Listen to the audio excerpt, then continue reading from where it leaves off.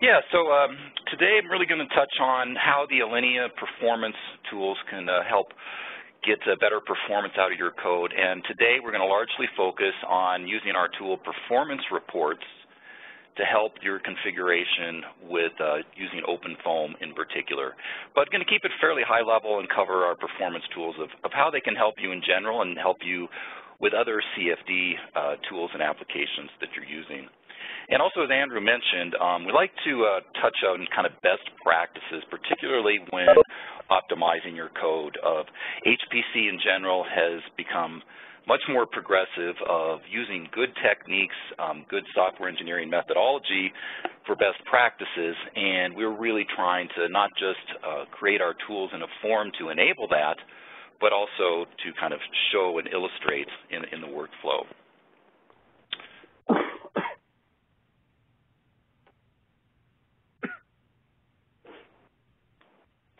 So here's just some of our showcase customers that we like to share that have been using our tools specifically for CFD-related work um, for quite some time with our with our tools. Okay, so at a high level, um, Allinea has been around for about 15 or 20 years. We started um, with our tool DDT, a debugger. Uh, we expanded that uh, many years back to include our source code profiler MAP, uh, integrated environment for both debugging and optimizing at a source code level.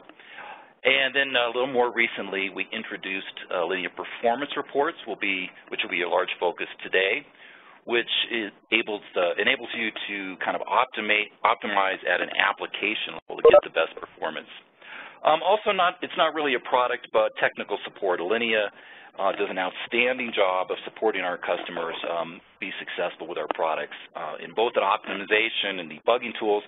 There's a lot of open source and somewhat free tools out there, but having good uh, good support helping you be successful is really part of the, the product suite. So why optimize? Um, this sounds a little simplistic, but HPC has been actually a little late to the game, if you will, in really doing a good job and focusing on optimization. And I like to think of it as, you know, what are your goals? You're undertaking a project. What is the goals of this and why do it? Um, faster simulation, that's pretty clear, getting to your results uh, quicker. Um, lower cost per simulation, um, enabling more utilization of the uh, resource that you have, get better throughput on your cluster in general and greater confidence in design, uh, particularly important for the, uh, the end scientist that's uh, publishing results or making conclusion about this, and getting better precision, uh, larger meshes with more precision. Um, so I really like to see, to look at that as, you know, why are we doing that as the goals? And then the plan is kind of what we call a performance roadmap. And the idea is, you know, once we know why we're proceeding with this is to use the roadmap as kind of a guide of how to proceed through your optimization process. And the first step, which is most important whether you're using our tools or manually optimizing your code, is analyze and understand the performance before you jump into the code. Um, it's so easy to think that you know where the problem is and invest time modifying sections of the code or modifying your configuration and setup and it's really not the root cause. So first and foremost, always gather data, and performance reports can help you get a really good high-level picture of what's going on. And then the roadmap kind of follows a sequence, and it really is a sequence in optimization. For example, in HPC, the first level of issues, if you will, the first set of likely problems will often have to do with I.O. So, you know, looking at vectorization before you've made sure that you're doing a decent job at I.O. is often not a, a fruitful path. So the performance roadmap provides a nice kind of series of operations to how to get your best performance out of your code, whether it's just uh, changing the configuration in a deployment or actually digging into the source code. And this will be part of the package that we follow up with uh, after the demonstration. Our marketing guys will send some follow-up materials that will include this. So performance reports. Uh, performance reports is a single page output, um, both in HTML format, which is uh, convenient for for reviewing in your browser, or in a flat text format, which is uh, amenable to post-processing or integrating with a regression testing type of operations. So the single page report uh, really focused on identifying configuration problems, uh, those type of issues, and be able to track behavior of your applications over time. Um, in fact, in our new version, we're providing hooks to integrate the output of reports into regression test systems uh, such as Jenkins. So not just for uh, developers, but also for uh, system administrator, system owner type folks that are focused on trying to get the, the best throughput on their system. Uh, very low overhead, um, typically well under 5%. Um, no recompilation or instrumentation necessary. Um, if you want to run performance reports at your usual deployed level of optimization, uh, just as you were running in production. So for today, I want to focus on using performance reports uh, with OpenFOAMs. OpenFOAM is a uh, open source uh, free utility CFD solver, and we're going to use uh, OpenFOAM's Interfoam solver for solving a dam break problem but it would apply very similar to any other run that you were going to use. So starting performance reports is very easy. You just prefix the run with perf report. So your existing MPI run, MPI exec, prefix that with perf report. And here's the command I used on my system. And it will run and generate, generate your results as usual, um, outputs as usual. And then in addition, this uh, HTML and text format file for review. And this also works within batch systems, so if you're using something like PBS, uh, all you have to do is modify the existing run command within your batch submission script, and it will run as usual. So let me just play the video to illustrate the problem that we're solving. So this is uh, solving a dam break problem. And this is part of the distribution that I'll show you at the end of, of the sample that I'm using. So it's kind of fun to do that as a you know, supporting scientists doing this work as a computer person. It's nice to have an understanding, to have a picture of the science that we're doing. But a nice thing about performance reports is it's really at a system application level, so you don't need to have an internal understanding of the application, a deep understanding of the science. A lot of our customers use the product in the context of they'll have a benchmarking system-oriented person helping get the best performance out of their application without having to really dig into and understand the underlying science in detail.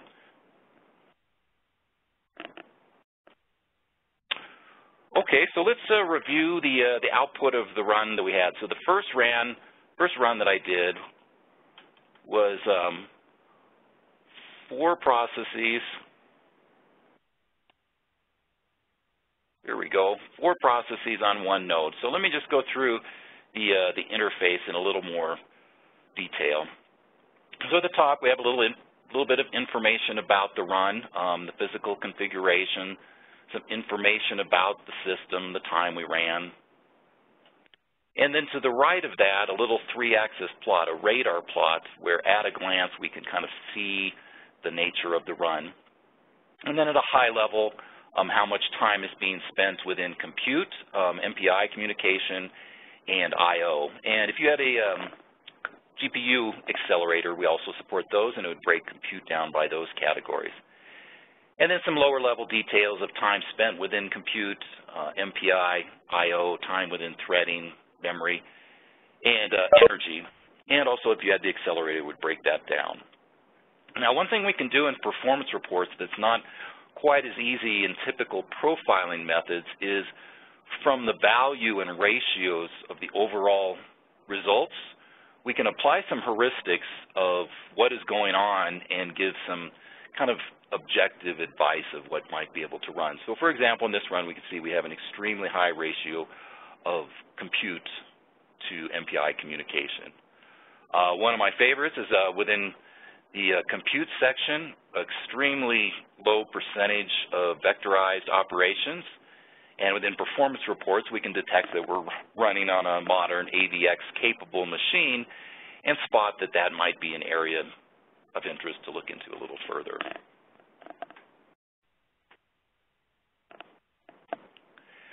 Okay, so from these high-level results, um, it gives us kind of some insights, some details of what we can improve. So for our OpenFOAM run, um, some of the opportunities might be, um, are we running at the right workload balance? Are we uh, splitting the workload correctly, optimally for our cluster across the available resources? Um, has the current build been compiled appropriately? So in our results, we're getting extremely low vectorization. Um, maybe the default build does not use the best opportunity for our machine. Is there a better way to start start the solver or decompose our solution set? So performance reports can kind of give some hints of where to start with that. Um, still takes the, uh, the professional to find those opportunities and find the solutions, but at least we can uh, have a good starting point. So is my workload unbalanced? Um, so looking at the memory distribution, we can see that uh, there's a pretty good distribution of memory across the processes. So kind of as a rule of thumb, we can say if there's a good distribution of memory across your processes with a low RMS typically, um, it's probably pretty well done. So from this uh, output, we can see that we have good distribution, but we're not really using really, you know, high percentage of the available memory. So can I improve processor usage?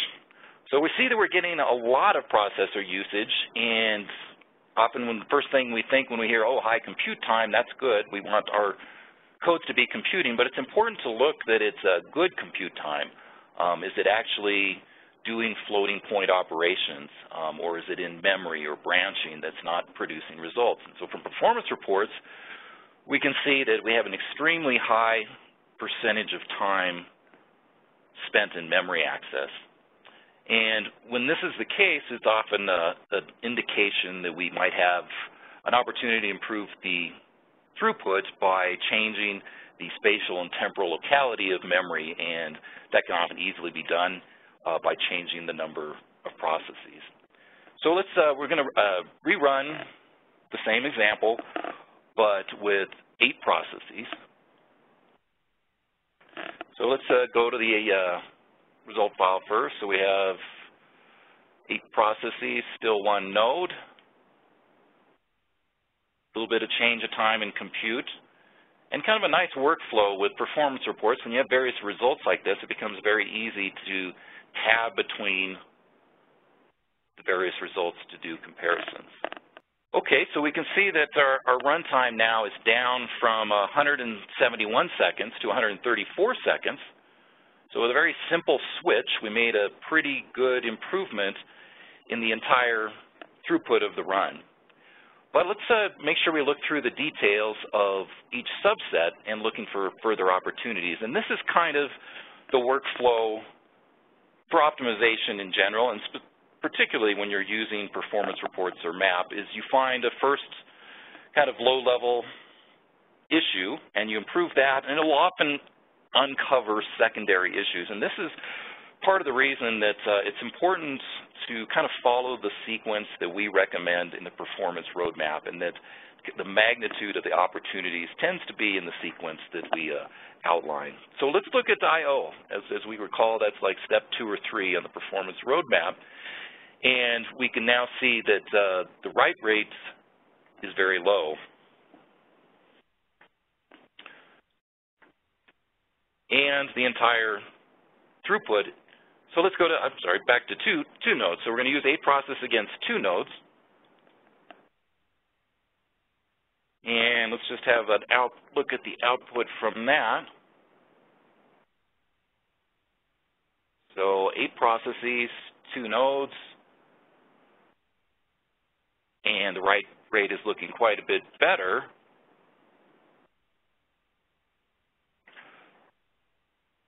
but our entire throughput time has gone up.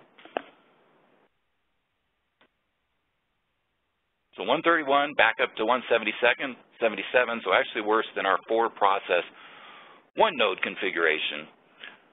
So what other experiments could we try? So at this point with some very simple experiments, we've been able to see different performance characteristics within our OpenFOAM setup.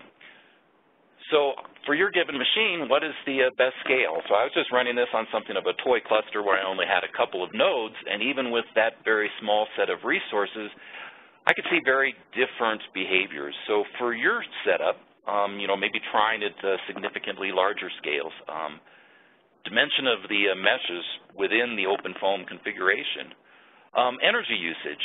So a, a, kind of a fun new feature within both performance reports and our source code profiler MAP is being, being able to look at energy usage across your run, both at a node level and at a process level. And this is becoming much more efficient as we're moving to next generation machines and increasing power costs. Um, I work a lot with large government labs, and it's definitely the accepted wisdom that the uh, codes that are going to survive at generation N plus 1 or N plus 2 um, are going to make consideration of good memory usage. So it's interesting to start looking at it now. So the MPI rates that we saw across all of our runs weren't as good as they could be. Even on my toy system, those numbers were relatively low. So uh, looking into how we've configured uh, OpenMPI might require going to our system administrator and seeing that things are, are set up correctly. So that's kind of a whirlwind tour of how to use performance reports to do some experiments very quickly and easily, conduct experiments of different configurations of your code to see you know, what is optimal for your problem on your system. And we could also use a map for looking into details. So we saw some vectorization issues, and um, I did this uh, presentation similarly about a month or two ago and I was amazed how many people aren't just using OpenFOAM out of the box, but are interested in bringing up the source code and seeing if they can find opportunities within the, within the source code themselves for improving it. And um, using our source code profiler Allinea MAP in addition to performance reports can help with that. And so here's some kind of follow-up uh, materials. Uh, we have a free trial of performance reports and our tools Forge available on our web page, fully functioning setup of uh, the tools. Um, some materials on CFD. We work with a lot of clients in the CFD space, both commercial and government labs in Europe and the U.S. And then just some follow-up information on OpenFOAM itself with the dam break example illustration that we used. So that's the, the heart of the presentation of what I had. Um, I really encourage you to give it a try yourself on your setup. I think the, the real fruitfulness is um, with your code on your system, your actual cluster, being able to conduct these experiments very quickly. You can see here in the order of 20 minutes, uh, covered several different experiments, seen some insights about how OpenFOAM was running on my cluster, and even uh, on a much more sophisticated, much more realistic system, conducting these experiments is, is very, very simple, very quick. So that's the bulk of what I had to cover. We've uh, allocated some time for questions. If you have a question, if you could please uh, type it into the, uh, the chat window, and Andrew will read that back for us.